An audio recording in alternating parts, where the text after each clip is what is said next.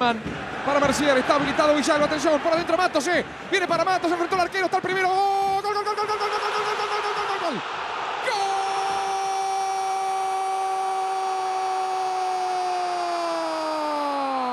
¡Gol!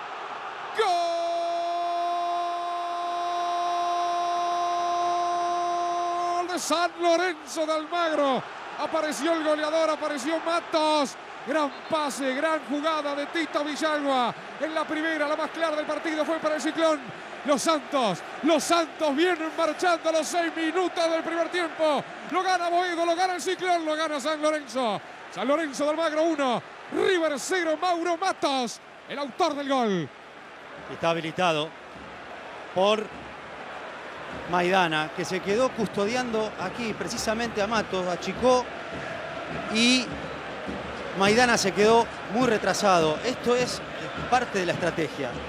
Tener dos delanteros por afuera que le den este sentido. O sea, tener a los centrales ocupados con los dos puntas y afuera Villalba y Verón. Villalba quedó totalmente descuidado.